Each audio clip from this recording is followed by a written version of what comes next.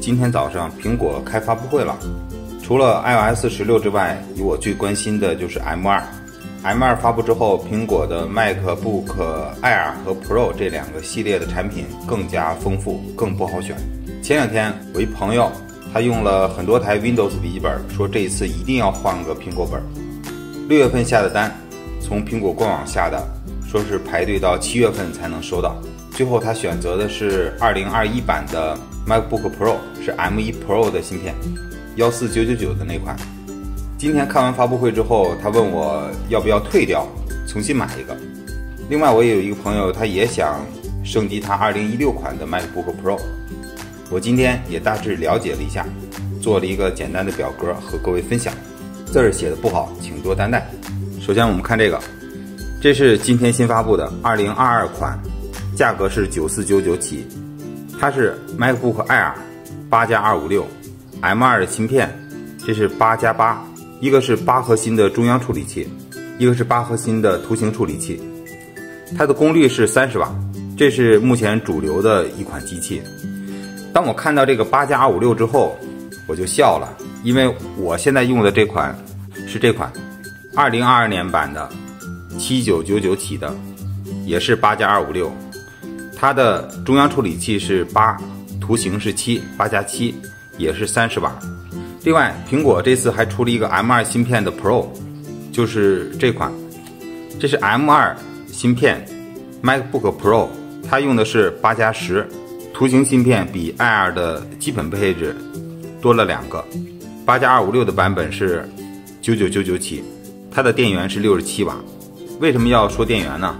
这个电源是区分。档次的一个重要标志，我们看一下第三号啊，这个三号它和一号是一样的，都是 IR，都是二零二二款，但是它是八加五幺二，我这个写错了，应该是八加五幺二，核心是八加十，比这个第一款图形核心多了两个，它的功率也就多了五瓦。那上面三款呢是 IR 系列，下面这三款是 Pro 系列。这是 MacBook Pro 啊，因为后面还有一个叫 M1 芯片的 Pro。下面再看第五款，第五款是 M2 芯片 MacBook Pro，也是八加十的，它是八加五幺二的版本，二零二二年幺幺四九九起步。这个功率我没看到，应该也是六十七瓦。这个功率是和这个芯片是有关系的。六号是老款，已经下架了。它是 M1 的芯片，MacBook Pro 是八加八，它也是六十一瓦，是八加二五六，是二零二二年款，这款现在已经买不到了。我们注意看，这三款都是六十七瓦，最后这是六十一瓦，那这三款呢都是三十瓦。虽然都是 M1 或者 M2 的芯片，功率翻了一倍，主要是 MacBook Pro 比 MacBook Air 多了散热风扇，它可以让芯片更多的释放，释放的更稳定。MacBook Pro 比 MacBook Air 可以以更高强度的持续的输出，从而可以看出这个 Air 的定位它是偏入门级的，这个 Pro 的定位是偏中端的，后面还有一个偏高端的，那就是十四寸和十六寸。好，我们继续看，这个七号呢是 M1 的 Pro 版，它是 MacBook Pro 这个芯片它是 M1 的 Pro，它是八加十四图形芯片。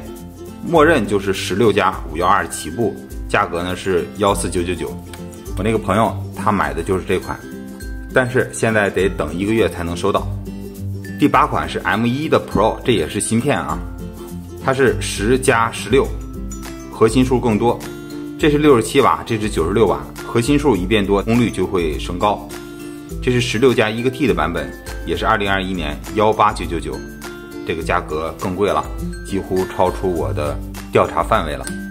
我们一般的 Air 和 Pro 就够用了，用不到这么高端。因为这两个 M1 Pro 或者 M1 Max 芯片还可以加核心，可以把价格加得更高，当然功率也就更大，因为它要有更多的性能释放。